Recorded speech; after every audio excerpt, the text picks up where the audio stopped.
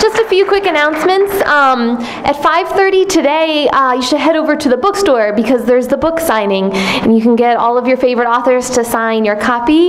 Um, and it's wonderful. I've got so many books at home on my shelf that are signed, and I love just taking them out and opening them up, and you get such a rush of memories of being here at Sewanee. Um, so I highly recommend it. And then, uh, starting tomorrow, there's going to be a sign-up sheet in McClurg for um, the next two open mic readings.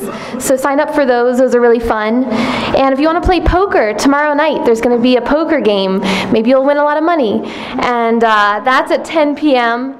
Um, Adam Vines is coordinating that. And now, please welcome Maurice Manning.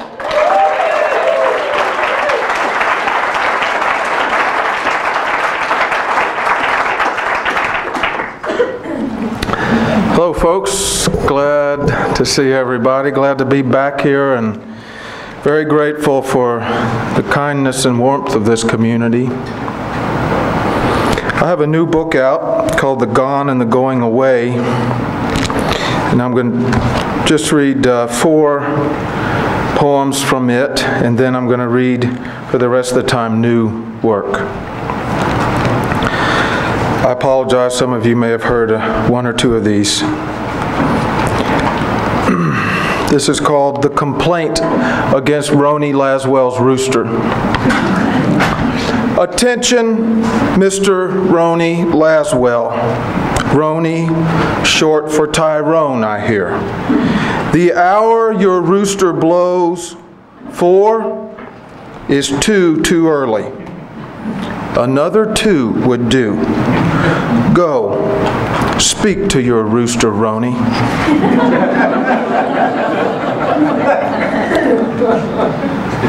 this is called the slate. I'm going to say the word two in here, and it's T O O.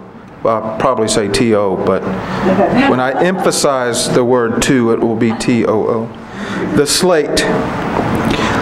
Way back, the men had funny names like Tiny, who was anything but small, and Tiny's son was called Tiny Two, or Double T, and Tiny's wife, who was big and mean, was known as Honey, and everybody called Honey's sister Birdie. And Birdie, who couldn't talk, much less whistle, was beautiful, but touched in the head. So Birdie lived with them way down in Fogtown Holler, beside the green waters of Shoestring Branch. And only the land was rightly named. For it was foggy half the day down there, and the branch was skinny and whipped across the mossy roots and rocks like a snake. But by the time I came along, Tiny and Honey were already planted, and Birdie was bent over and old, and Tiny, too, was getting on and sleeping in the chicken coop with 14 chickens and a rooster named Mr. Sump. And Sump was short for something. And Tiny, too, just said he liked the company. And besides, he had to guard the chickens against Red Leg Johnny, who was a fox, because Mr. Sump was only good at making chickens. And Tiny, too, would have winked about that sort of thing. And all of this I learned at young when I was just a scratch of a boy, and I skipped down Shoestring Branch to Fogtown Holler and found old Tiny, too, who told me where I was from and who my people were and how they named the world around them.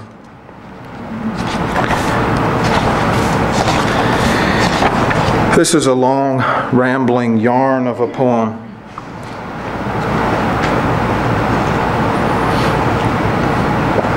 The last time I was happy, and I mean really, really happy. That happy? Well, let me see. It must have been inside a dream because Big Sookie was there, and she's not really real, not in the ordinary sense of real. But the parson was there, and by God, he's real. And Papa Sweets was too. And Sweets is about as real as Jesus, though Jesus, who I believe is real, wasn't in the dream unless he was in the air, very small which is just as well because we were drunk, inebriated beyond reproach, and I doubt the Savior would have approved. So part of the dream, you see, was real, spun from a night of revelry in which four young revelers pursued the wild hog of life because it's fun to run a pig around. Would that I could remember more of that stupendous chase. It's fuzzy.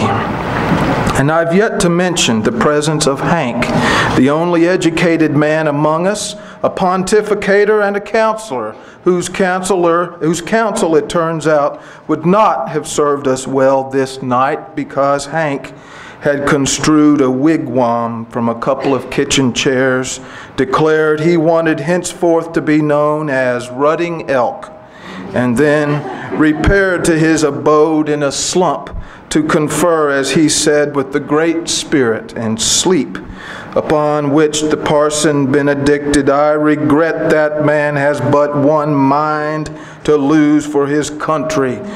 Bah! And then he waved his hand in holy gesture and said, Amen.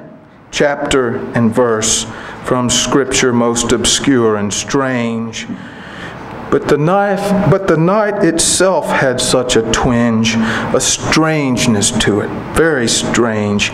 We were indeed assembled at the parsonage, but earlier we'd visited a tavern, and then another, and another each in its way a kind of decline, the last of which was called the broken spoke and had this wagon wheel motif, from which I managed to liberate a checkered tablecloth and soon had fashioned it into a cape, which I sported and commenced to inform the barmaid, Gentle lady, I am Lord Lamore at your service, and flicked the cape accordingly. Meanwhile, Sweets and the erstwhile Hank were playing cutthroat billiards with a sawed off man who had to stand on a chair to reach the felt, and who was decidedly more sober, and thus a better shot, and in the end a richer man who happened to brandish a longish knife. And once we'd returned to the parsonage, the parson decreed, Thou shalt not gamble with a midget. and the heavens parted, and the parson's beard quivered in the holy wind. Ah, the wind! This very tale has gotten windy. Let us strive to wind it down. Following Hank's foray with the Great Spirit in the kitchen chairs, Sweets announced he was so hungry he could eat the nether end of a skunk and proceeded to fry some crackers in water to abate his hunger. But in a cloud I saw him whirl before the skillet and kiss his fingers magnifique. He sighed in continental praise and tipped an imaginary hat for the compliment he'd paid himself. Sweets was in love with his dream, and why not? Shouldn't a dream be a dream after all? From love to love, a fanciful path, love lit and impossible? That's the kind of dream I have. What's wrong with being happy there? But back to the true account of this tale. As Sweets performed his gastronomy, the parson tossed a nightcap down and said, Thy will be done, I'm done, and promptly transformed himself into what could only be described as the carcass of some fantastic beast found in tapestries from the Middle Ages, minus the horns, and surrendered himself to the kitchen floor in close locale to the pale and drooling rutting elk.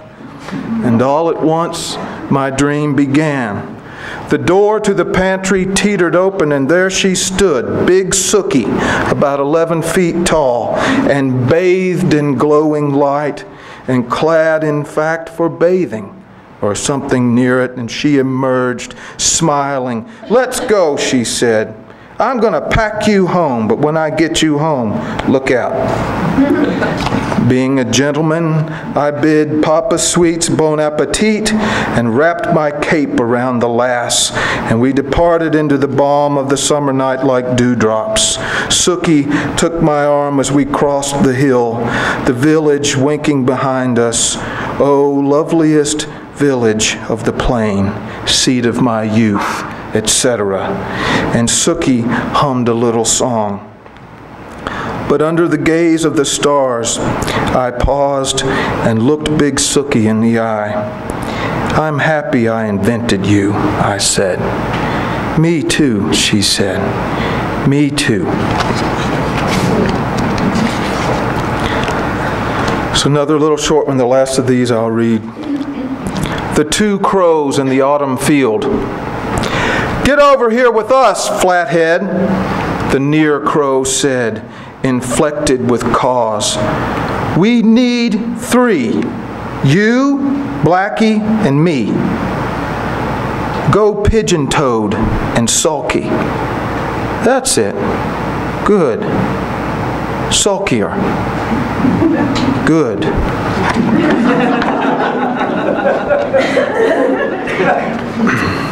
now, these are very different, I think. I hope, so, I hope they are. It'd be a real waste of time if they aren't.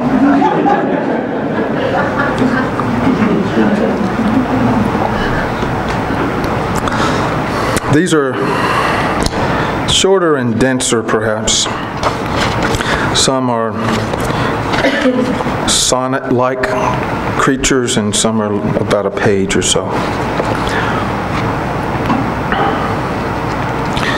Fine as a frog's hair split three ways.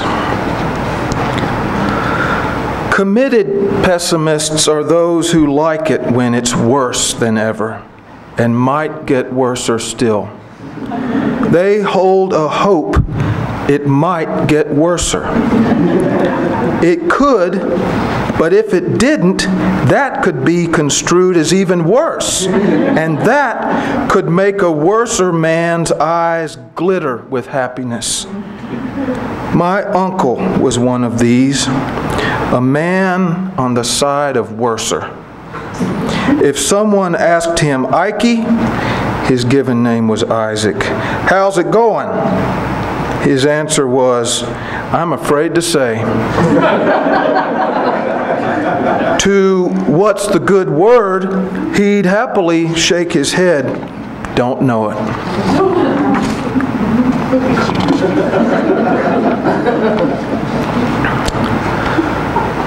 Pause for a cause. It's what we used to take call taking a break at certain jobs. Pause for a cause. When, after studying for a while the floor, someone says, Well, and stops, the next movement then is to clap his thigh and lifting his face as if someone has seen inside his mind the trouble or question he's holding there. He gets up out of the chair on the porch and goes back to loosening the ground and turning it with a hoe. The rest was jarring. It shook him out of time. I've done that kind of staring after an afternoon of work and gone back. But which is more abstract, the staring or the work or the empty cup on the rail.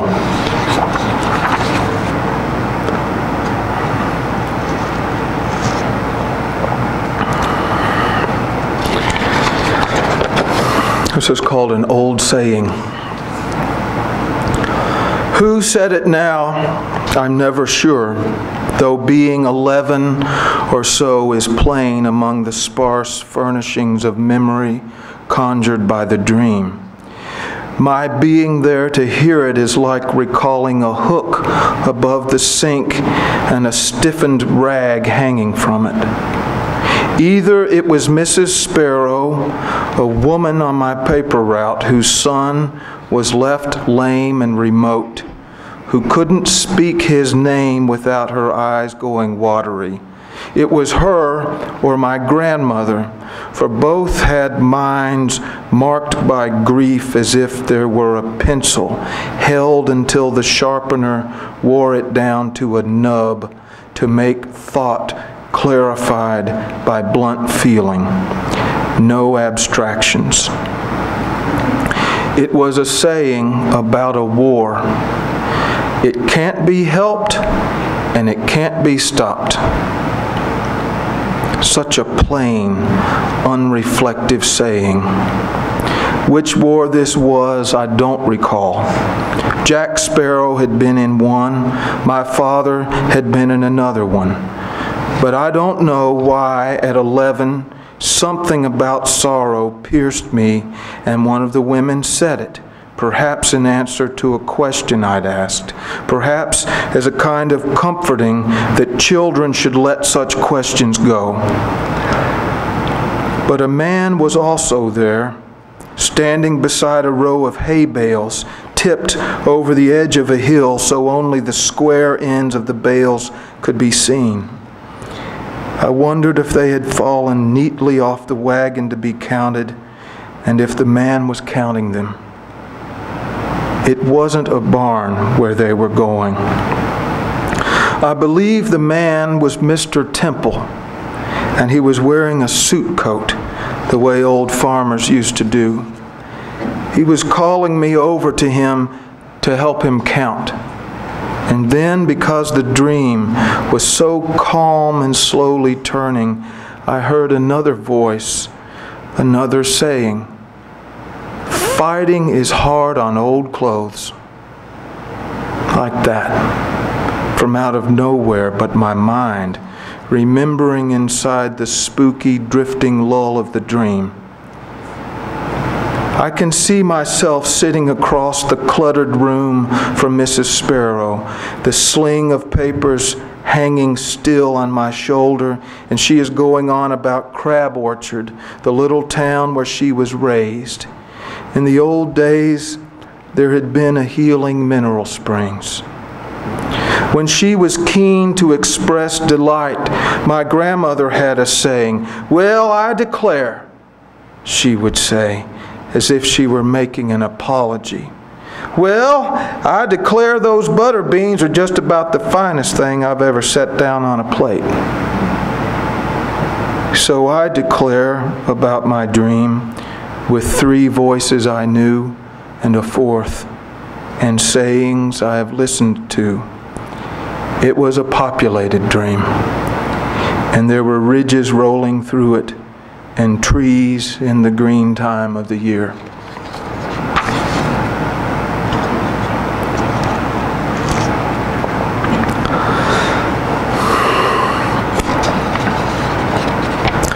This is called What's Going On in the Hinterlands. It feels pretty good to be back in the groove, hobnobbing with birds and the general world, and this includes tadpoles a trickling their little tails.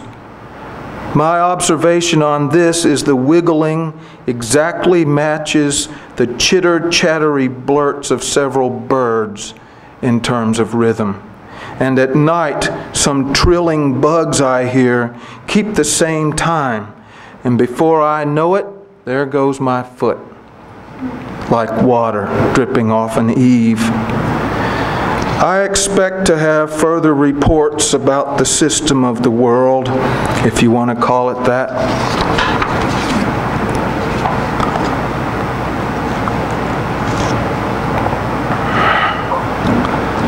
My Aunt Fanny. What do you think of the tale bandied about, the grandly elevated tale that's used to justify the unimaginable and therefore the not so true?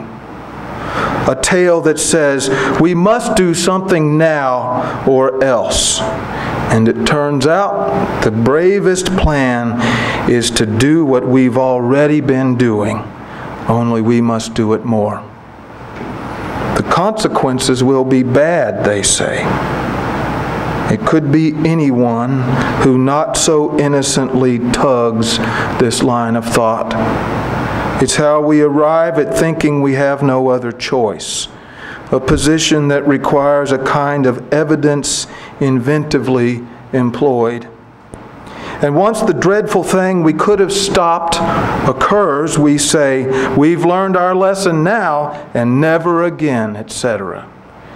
And then around it comes another tale perhaps a plain and wrenching one.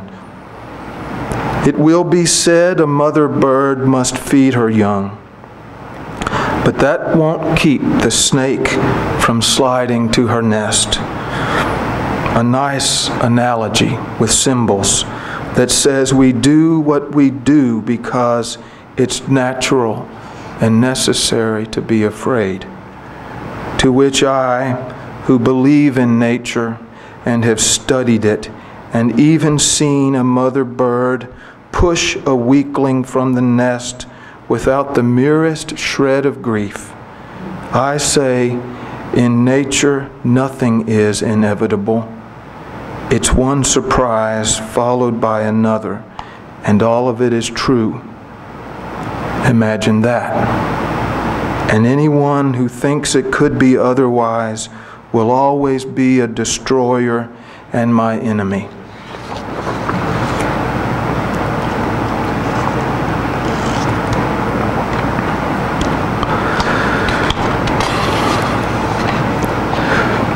Monotheism in Kentucky, present time. I'm from Kentucky, so. I thought of beginning this utterance by saying, I had a taste today of pure joy. But on second thought, I'm tired of purity and now prefer mistakes. That's it. I made a mistake today in tending the garden and spreading straw around the green, encouraging the peas to climb. I was, in short, enjoying it, and naked to the waist was I. And then it rained, and I kept on working, believing I was giving God a hand. And then I thought, what kind of idiot thinks he's helping God?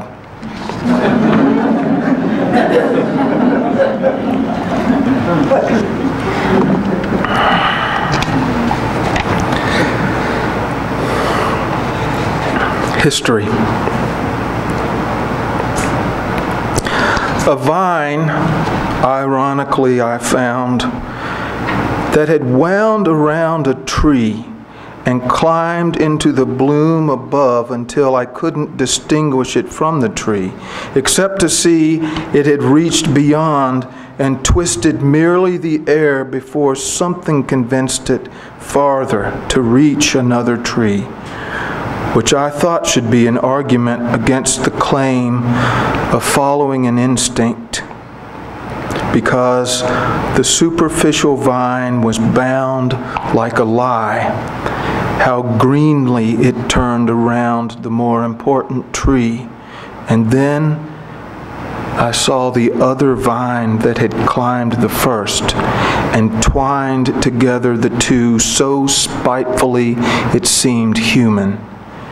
And the tree from being clung to how else but desperately reminded me of God or how I thought of God when I was first imagining and seeing, when I closed my eyes in the rocking chair and the lullaby was sung, the other side of sleep, and thinking, how will I get there?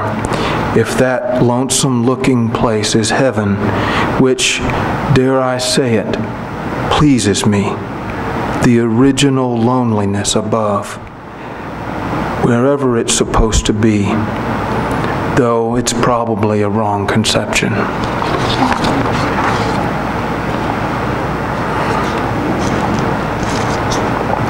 This is called translation.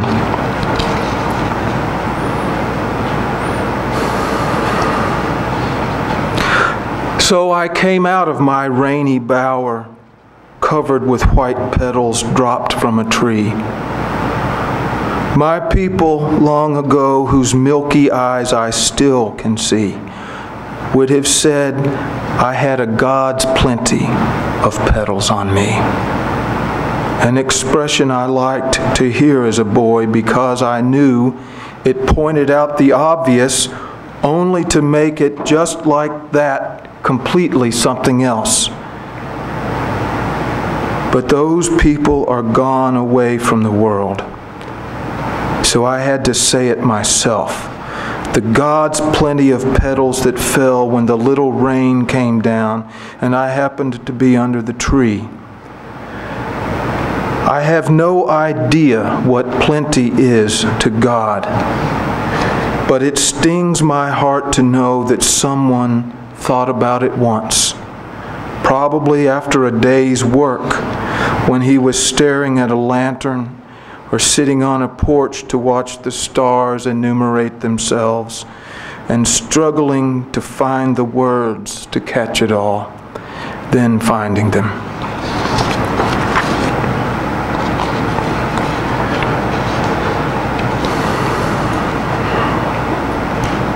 This is called You. Y O U.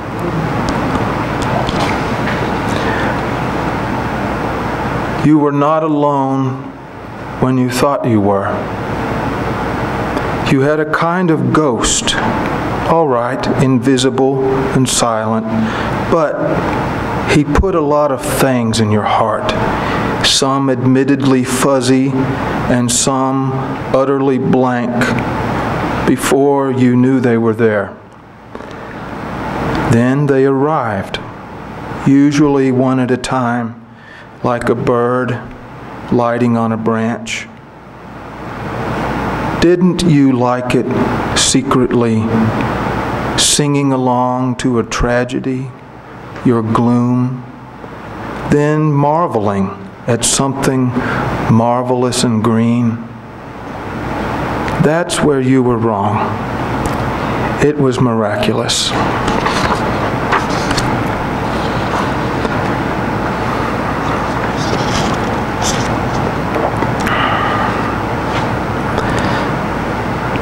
Soup. I had a few potatoes once that I'd set aside to use for seed but I was hungry and I thought resourceful. So I cut out the eyes with an old knife, hoping to save a few for spring. Left on the board, irregular and jagged, they looked like a map of countries, one split off from another following some dispute. I was poor and doing different jobs back then and dreaming what I might be, as if what I was were nothing yet. And I was reading and listening and going into the woods at night. The potatoes I cut into smaller pieces and dropped them into the cook pot with about a gallon of water some pepper, and the little bit of salt I had. I lit the fire and let it cook, simmering it for hours. I called it soup, and I wanted it to last.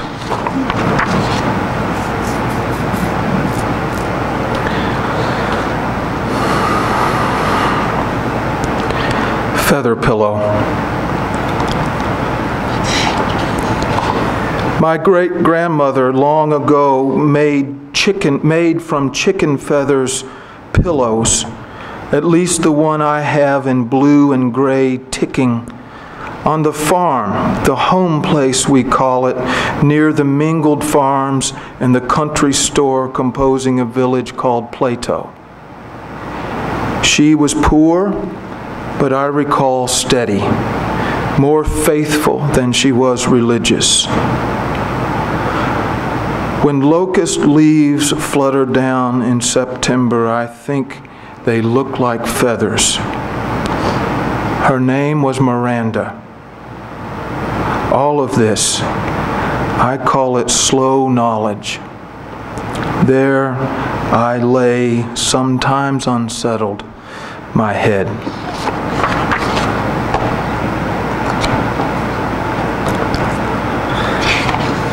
This is called rain. I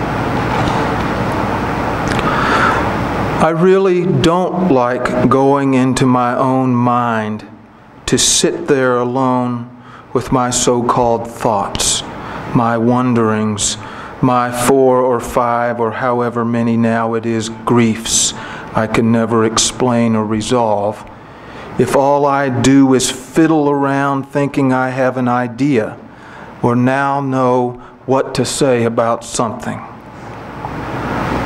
I'd rather go out of my mind to let something else come in, like rain, and the sound of rain splattering on leaves in the sanity of the woods where nothing is alone, not even the rackety wren, the real creation.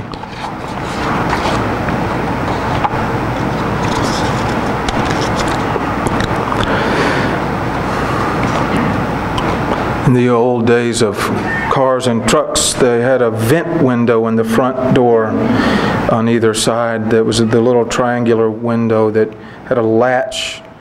Some of you young folks, this is before your time. I'm, I'm helping edify your historical knowledge.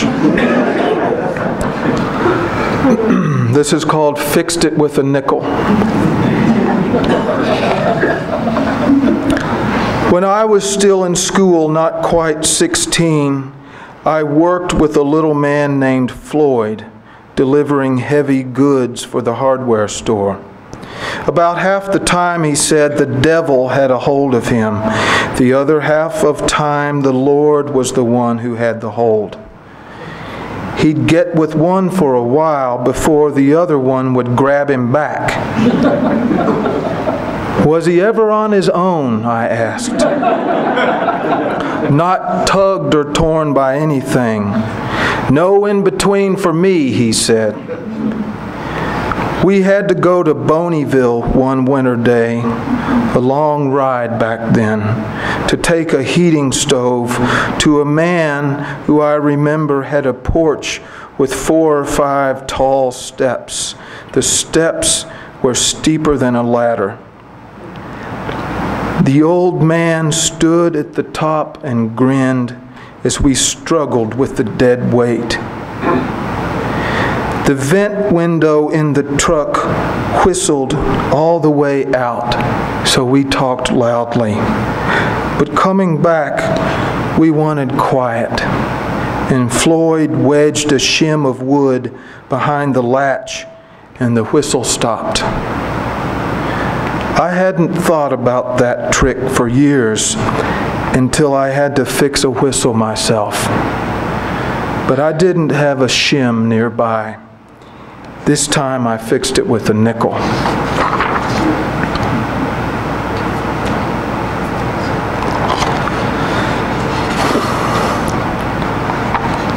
Crutch. That was another sign of not doing something right. To read with your finger following along. And worse, to read the passage out loud. We weren't supposed to hear the words or, fear, or feel them coming out of our mouths. If we read like that, we were using a crutch.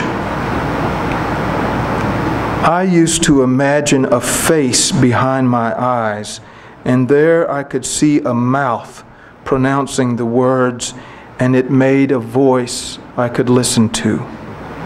That's how I read. And we weren't supposed to count on our fingers, so I hid my hands in my lap and tapped on my thighs or the underside of the desk as if I were playing an instrument. But I was counting carrying over the tens from the column of ones, or when I needed to add another 8 to 64, I'd tap it out because I could only go so far doing my times from memory. There was something wrong if you used your fingers to count.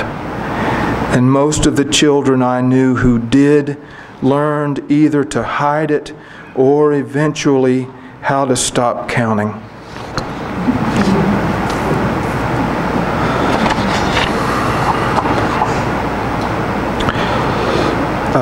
This is called ten penny and it refers to the size of a nail. Oh, thank you. Thank you very much. ten penny nails about three and a half inches long. Ten penny. I like looking at something strange, like a nail driven crookedly and bent into a hard plank in the barn, with the head sort of lolling over and stiff. It's strange to be sticking pain, plainly out of the order of the barn and to have a singular countenance. But the barn itself, on the whole, is not so rational. It has a significant uphill lean, which I admire or regard as I would a statue in a church with a sad and still compassionate face looking out. Whoever drove the nail got it only to go so far before it bent. And then he hit it again and further bent it. Whoever it was who drove the nail and stopped had tried to be precise and notably failed and left the failure there to see.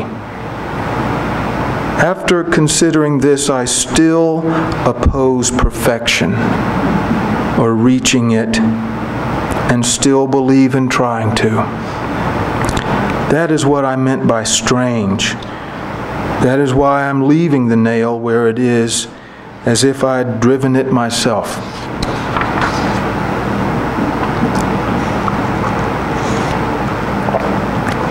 Why I am not a Stoic. By now, I've seen it all the weird, translucent yellow spider hauling her pale pearl of eggs, or the spores of the reddish fungus fuming out from its half inch smokestack in the moss, and even the damp shade commencing with the woods and seeming like water steadily to flow away. How these go unattended an observation so smug and pithy I ought to take it back. But I mean it as a fact, as a starting point in case a philosophical moment arrives. It would suit me if it didn't, because a philosophy based on shade or moss would be difficult to prove. I've made a claim the appearance of something that seems singular, but probably isn't. And that an irony observed in what I thought was solitude. But I was never alone in the shade. I had the shade and the moss inside it, and the poof of spores, and the yellow spider swinging back and forth like a bulb in a room with someone listening to nothing, or a bug flicking against the black pane of the window. We have a form inside a form inside a mesmerizing form. I'm itching to say something nice about it. It's pleasantly slow and may appeal to objectivity but maybe not. Let's let it be nighttime now, up there in the dome of contemplation. No light, no need to have a light. Let's give it a rest. Let's say, Good night, you little idea.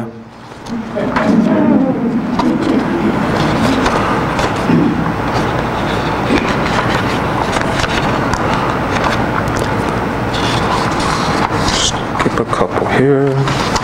It's hard to figure out how long. The truth at Three Lick Creek. Below the ridges, dim and low, the hollows and narrow valleys run, and pools of water prove a stream has been there once.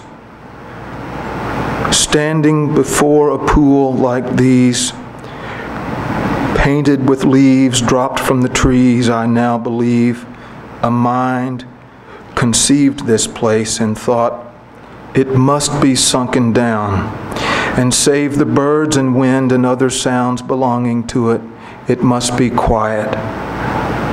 and let the truth of this be as plain as a dead leaf, the mind has said. We'll bring a boy down here one day and see if he can handle it.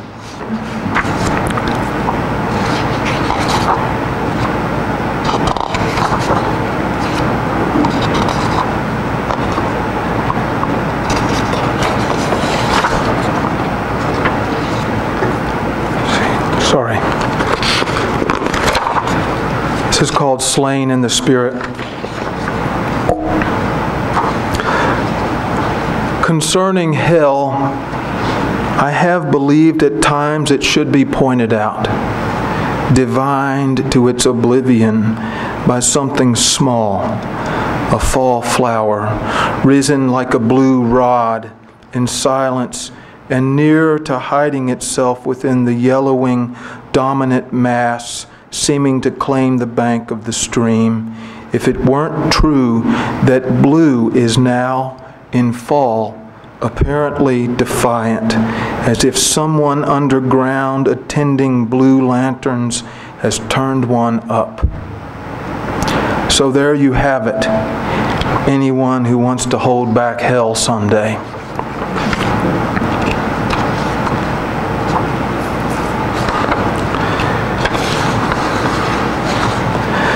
Little gray feather tinged with red or blood. I don't know what to think standing at the bottom of the hill in the woods. The bare trees reach up. The hill is to my right, and on the left begins another steeper hill. We call this a hollow, as if this place were empty. I like such irony. It won't explain itself, and here is nothing explicable. We make comparisons to it, but not the other way around, except to say the foot of the hill, the head of the hollow. Usually we say a man has cavernous eyes to say the eyes mean more, and the man himself becomes more fundamentally defined. Someone could come here and learn nothing. I was raised to think God was involved with this. No, I wasn't raised that way. It was my idea all along. I found it all by myself standing in the woods when I was a boy, merely a boy looking up at the trees or down at a feather dropped in the grass a feather representing both itself and the bird, and even more at once, as if it were an art. I'll read two more.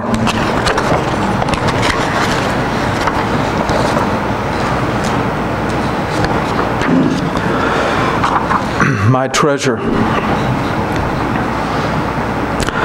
I used to hear from people who we used to say were chipper because they gave off a positive outlook on life and pleasantly smiled a lot and made me think they were ever kind. From that position, I'd hear them praise the so called dignity of the poor as if being poor was virtuous. But then I noticed while carefully painting the pickets of a fence or working in silence except for the gritty ring of the hoe mincing the ground. The people who made such claims weren't speaking from experience. I remember working for next to nothing as a boy for people who expected me to work that way. I resented that in time. But now, in farther time, as if time is a distance, I realize I was learning then to be polite to liars.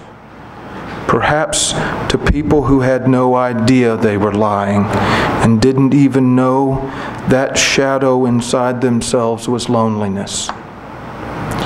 But I was rich on that. It took me many years to see it clearly, but I was practically a king and then I became a poet and have a world to write about, lies to depose, and ambiguities to leave lingering in the air like smoke from a candle just blown out.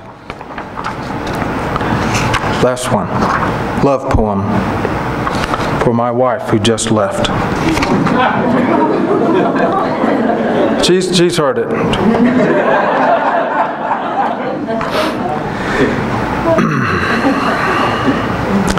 The dry vine from a kind of weed whose yield is pods is being flung out senselessly by the wind, and a scrap of the vine at that.